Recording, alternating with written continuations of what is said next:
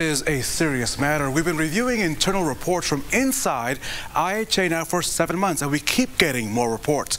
While continuing our research, we learned that a team with the HUD Office of the Inspector General came to Indianapolis to begin what's being described as a review. This is surveillance video from inside the Lugar Tower in 2012. It appears some workers removing asbestos at the time did not want to be watched. This project in Indianapolis and its associated contracts could be among those federal investigators will be reviewing to ensure they met federal regulations and federal standards.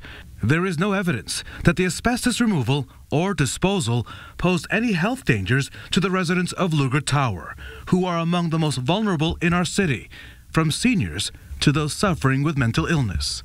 Call 6 obtained several internal reports from the IHA Office of Special Investigations, which raised concerns about the asbestos project as well as the use of federal funds to buy made in America products during a major renovation beginning in 2008 we attempted to talk with the investigator who helped generate the reports and instead got an email asking us to direct all questions to IHA headquarters.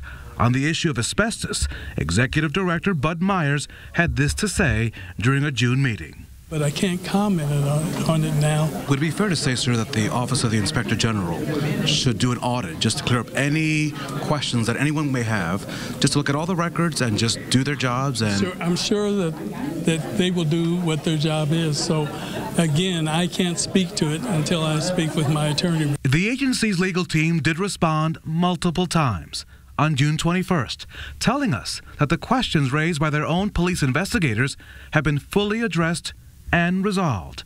In September, as we continued to ask for more details, IHA went on to say this that suggesting that it or its vendor did not comply with applicable environmental or immigration laws or regulations is inaccurate.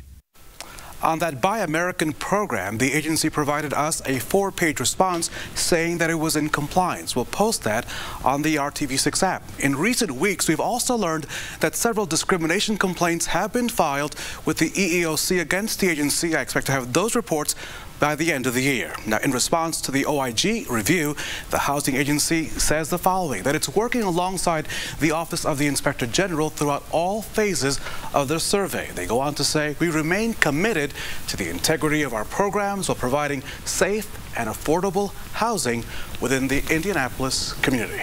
So what's the Office of the Inspector General saying? Uh, well, nothing, because the Office of the Inspector General does not speak to the media. They do allow their findings to speak for themselves. We expect to get those findings sometime by January. The, the report should have some sort of detailing. It could call for uh, issues uh, to be fixed, to be addressed. They could also say that the agency is in compliance, or it could also call for a federal audit, which the agency, IHA, has not seen in about 10 years. A story that will continue to follow right here on RTV6.